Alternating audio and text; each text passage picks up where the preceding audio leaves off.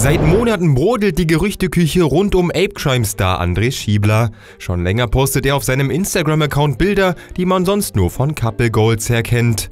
Die Fans sind sich mittlerweile aber sicher. Der YouTuber scheint eine Freundin zu haben und auch wenn er sie nicht in die Öffentlichkeit zehren möchte, prägt nun ein sehr verdächtig wirkendes Tattoo seinen Unterarm. Ist es wirklich ein Liebestattoo? Fakt ist, dass es sich um ein Herz handelt, was für André laut eigenen Aussagen eine ganz besondere Bedeutung hat. Na, da scheint die Liebe ja schon richtig unter die Haut zu gehen.